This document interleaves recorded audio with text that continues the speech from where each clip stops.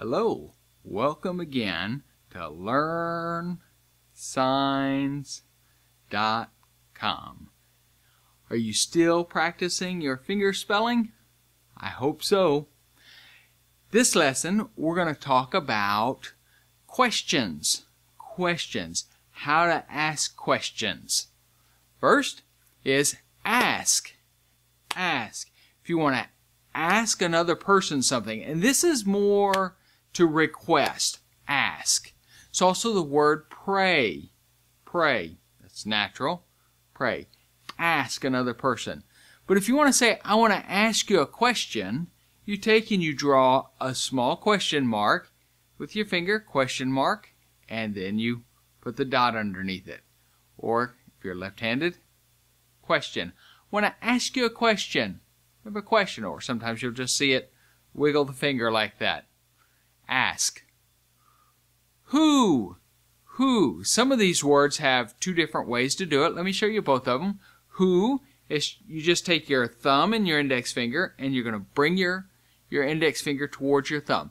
Who? And you you show a question with your face. Who? Or the other way is to draw a circle around your mouth. Who? Who? You'll see both of those used. What? What?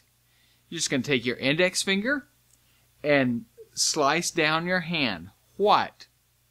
We talked about this when we said, What's your name? What's your name? What? Why? Why? Take your, your mitten hand and you're going to touch your forehead and then you're going to come out to the why. Why? Why? This is a little different than why, and it means what for. This is the word for for, for, F-O-R. And if you do it a couple of times, it's what for, for what purpose. In English, we use the word why to mean uh, lots of different things. What the purpose of something is, uh, the reasoning for it. There's different different uh, usage of the word why. But in sign language, there's a distinction here. This is what for. What what is the purpose? Why? What for? What for? And then you have why is your your mitten hand, and it comes out to the Y. And this is what for, or it can mean why as well. For what purpose? When. Again, this is another one that has a couple of different signs for it. When you take your index finger and you put your other index finger on it and you draw a circle around. There's a couple different ways to do that circle, but this is the way I like to think about it. You have a clock face here, and you're going to point on the clock. When? When? Or, another way is when? When? Now there's a bit of a distinction between these two, and we'll get into that when we talk about grammar, but this is also when. When and when. Where? Where? You take your index finger and you're just going to shake it. Where? Where? How? How?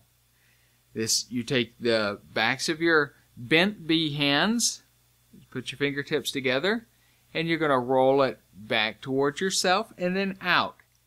How? Now, this is the question word how. Uh, if you want to say how much, as in how much I love you, then you would do it, you do it with your open hand. But this can also mean the question, how much? How much do you want? How much? And the distinction is on your face. You can ask the question using the same sign, how much I love you, you can make the statement, or you can question, how much do you want? How much? The question is on the face. And then how many? How many?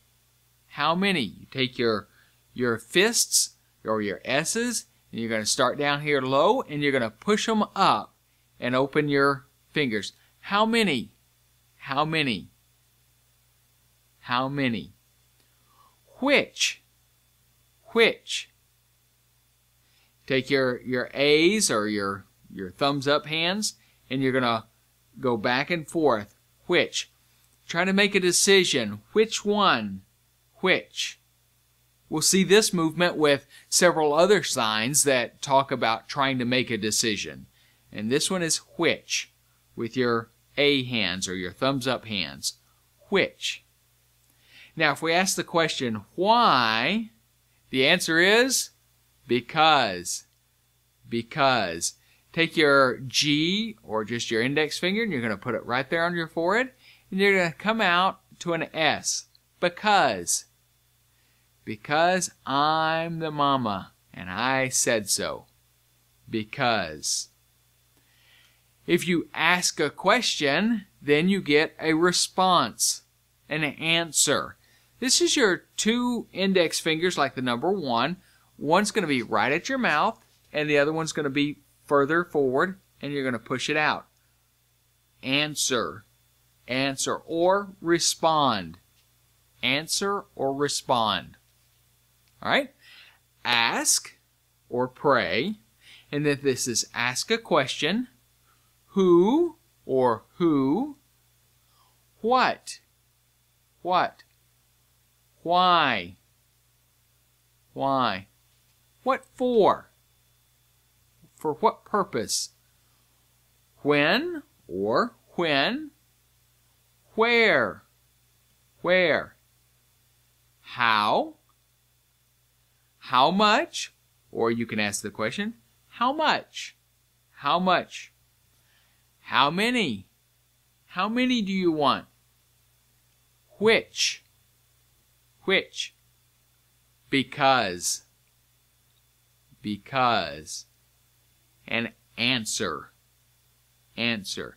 Now, you can also ask many questions just by opening your palms, palms up, opening your hands, and then giving a shoulder shrug with with the question on your face kind of pull in your your eyebrows and you're going to say what what or if a person says we're going to meet over at the mall and you didn't understand it you say where where just give that slight shoulder shrug and with your your hands open and your palms facing up you're you can ask all the different questions how why?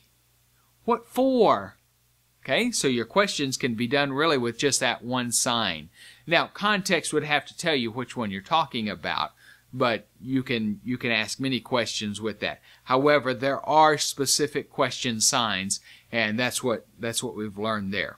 All right, this is learnsigns.com lesson number 6 slash 6. So it's learnsigns.com slash 6. If you'll go there, I'll have the list of the vocabulary words for you so you can see what words we've covered in this lesson. Keep practicing your your vocab. Also, practice that finger spelling. The finger spelling is very important. You need to get better and better at it, being able to read finger spelling.